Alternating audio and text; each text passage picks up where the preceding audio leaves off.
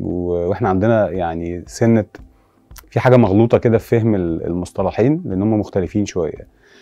آه، تخطيط الأحمال أو مخطط الأحمال دي يعني عملية أو منظومة أو بروسيس أساسها مخطط الأحمال بس هي بالشراكة مع كل الجهاز الفني خاصة المدرب العام.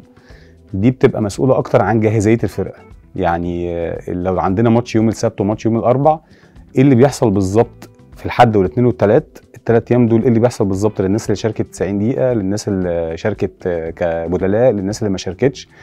الناس اللي عندها آه، يعني عندنا زي ملاحظات عليهم بدنيا إيه اللي يتعمل بالظبط في الثلاث أيام؟ عشان أنت بتعتبر إن أي حد في الفرقة عندك ممكن يلعب 120 دقيقة في يوم الاربع فأنت دورك الأساسي كمخطط أحمال إنك تشترك مع كل ال ال الأجزاء جوه الجهاز سواء الفني أو الطبي في إن الناس كلها تبقى على أعلى درجات الجاهزيه اللي هم عليها مش تطويرهم قد ما إحنا بنتكلم عن جاهزيتهم في أحسن مستويات ليهم يعني. ده تخطيط الأحمال باختصار شوية.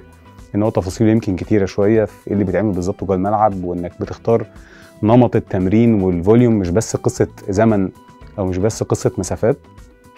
الجري أو كده نوع التمرين وإمتى نعمل تكتيك وإمتى نشتغل ضغط عالي وإمتى نشتغل من الوقوف وإمتى نوقف التمرين كتير وإمتى نشتغل ضغط يعني رتم التمرين أو كثافته يبقى عالي. كل ده حاجات يعني بيتم دراستها مش مالهاش علاقة بالخبرة قد ما هي ليها علاقة بالقدره على استخدام العلم يعني أو استخدام التكنولوجي كمان. مطور للأساليب الحديثة دايما فبالتالي زي ما التدريب بيبقى فيه أساليب حديثة فأنت بالتبعية بيبقى ليك أساليب لأن أنت جزء كبير جدا من من التدريب أو التمرين أو الإعداد ال- البدني وبالتالي بيخش فيه بقى الناس هنا بيختلط عليها الأمر ما بين مخطط الأحمال والمعد البدني.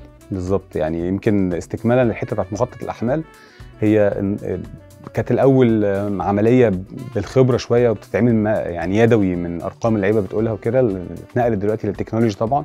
الناس كلها بتشوف اللعيبة لابسة GPS في ظهرها ده مش مش بس GPS يعني ده بيبقى جايب مسافات وسرعات وعدد الالتحامات وعدد المرات اللي غير فيها اتجاهه وعدد المرات اللي عمل فيها تسارع أو acceleration deceleration لما عمل sprint ويفرمل بتطلع متغيرات كتيرة بتوصل ل 180 متغير انت بتستخدم منها اللي مناسب لانك تراقب تمرين ولا بتراقب اللاعب ولا انت بتراقب الأسبوع على بعضه وهكذا يعني.